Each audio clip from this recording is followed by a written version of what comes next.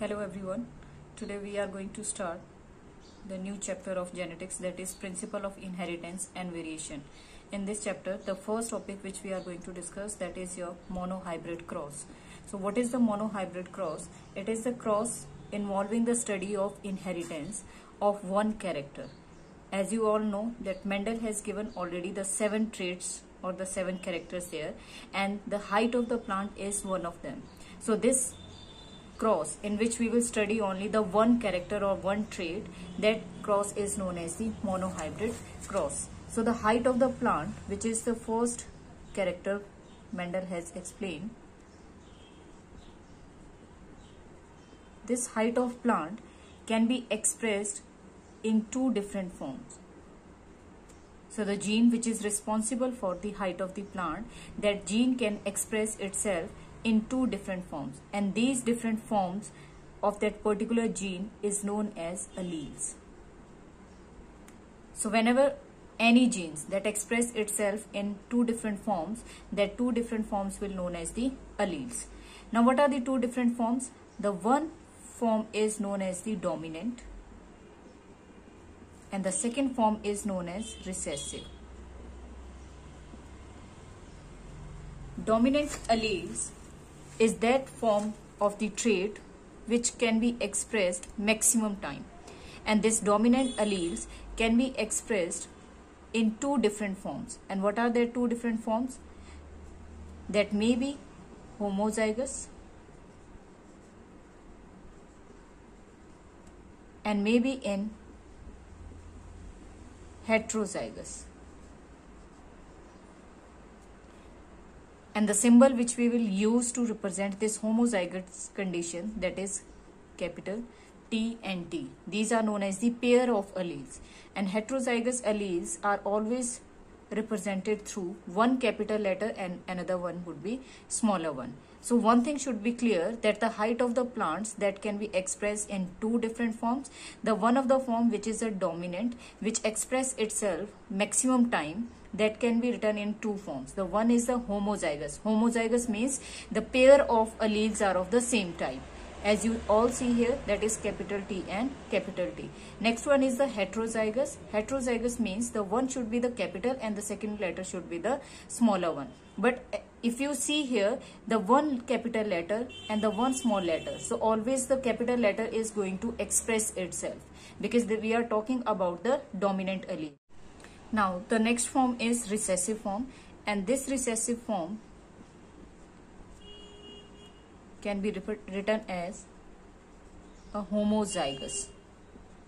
Homozygous means it can represented only through a small alphabet that is small t and small t. So dominant may be homozygous that both the alleles should be the same and the heterozygous maybe one is capital and the second one is the smaller one is there. But in recessive we can represent this recessive alleles only through the homozygous conditions that means small t and small t is there. Now we are going to show the cross between these two different forms there for a trait which is known as the height of the plant there. So first of all we will write here the parent plant This parent plant, the one is the dominant form and the second one is the recessive. So dominant means plant may be the taller one and in the recessive the plant will be dwarf.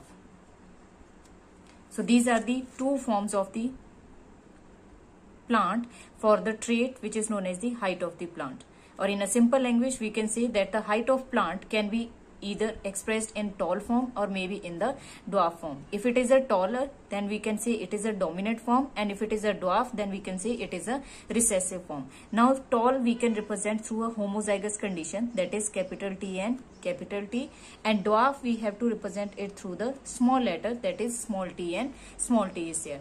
Always remember that whenever you are showing the dominant trait for any plant or any uh, character. So this dominant form should be in the capital form and the dwarf form which you are showing for the recessive that should be the smaller form is here and the letter should be same. If you are taking here the T then for the dwarf also you have to take the smaller T is there.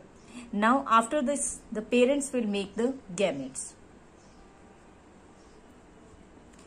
Now these are the pair of alleles. So they will separate from each other. When? During the gamete formation.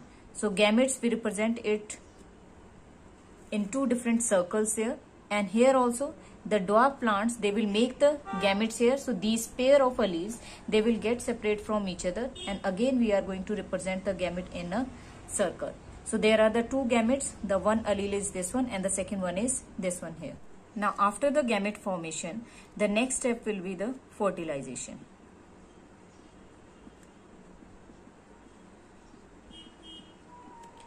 so now the gametes of the tall plants are going to fertilized with the gametes of the dwarf plant. So we can just write it here. This capital T is going to fuse with this one. So what is what will be the combination? Capital T and small t. So if you see here, the pair of alleles, they get separated from each other during the gamete formation and during the fertilization, these gametes, they will reunite and they will resemble or they will assemble over here in the F1 generation. Now this capital T, they can fertilize any of the these T letter but still we will get the same combination that is capital T and small t is there. This is known as the F1 generation.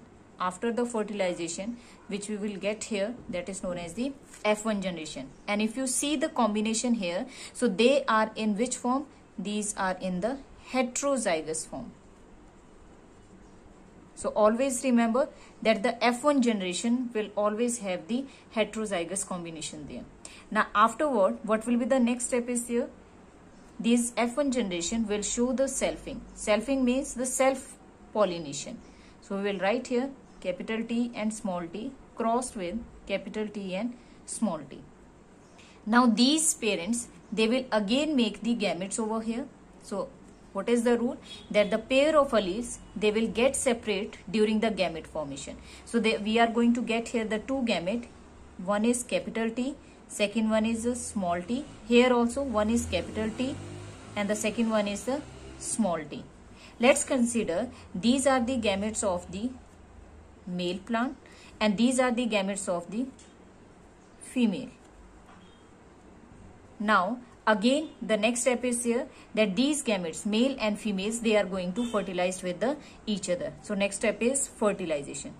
Again we can write over here. This is fertilization. Now to show the fertilization we can just make a punnett square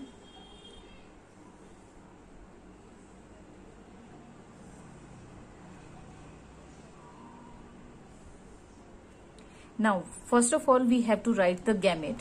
So, I'm going to write the male gamete over here. This is capital T and this is small t. Let's say these are male gametes. And here I'm going to write the female gametes that is here capital T and small t. So, these are the female gametes.